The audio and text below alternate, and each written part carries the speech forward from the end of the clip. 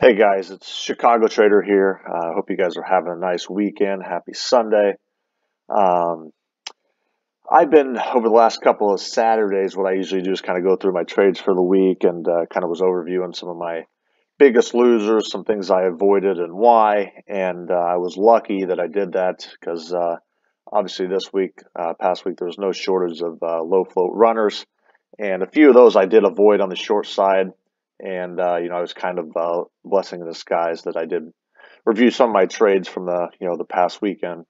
So it's no surprise that a lot of the stocks that I had my biggest losers on were biotechs, um, as a lot of times the top of the gap scan is a lot of those low float biotechs with the news that come out and. Uh, why I'm by no stretch of imagination an expert on you know comprehending the news or the phases or the trials or anything like that.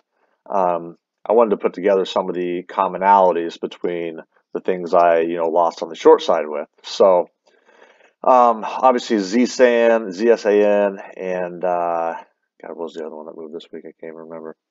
Um, ACHV. So there was a couple things that, again, when I was reviewing my trades, I kind of uh, avoided them from from the open, and I kind of wanted to share why. Uh, that have kind of hurt me. PTI, OCX, ZSAN, again, was this week. AXSM, ACHV, MRIN. And again, there's more out there, but these were just things that I remember um, off top of my head. A few of I traded, a couple of I didn't. So a lot of these, um, obviously, I'm a you know fundamental guy, and it's easy for fundamentals to make you a convict, right? Um, you're so convinced that uh, you know the dilution or such a trash stock, but uh, all we can do is manage risk.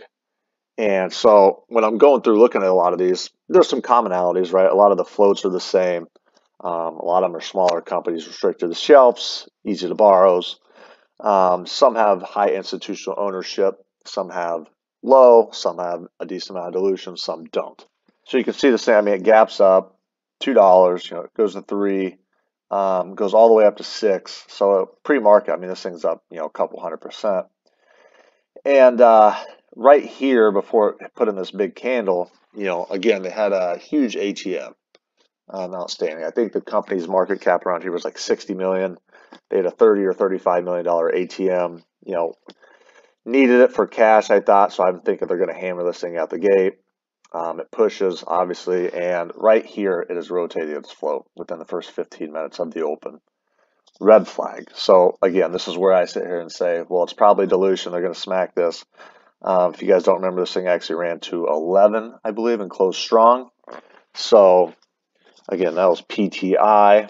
Another one I wanted to uh, jump into. Uh, I can hardly look at the stocky. OCX was a A plus setup for me, and just again, just got demolished on it. Nine million float was restricted, pretty easy to borrow.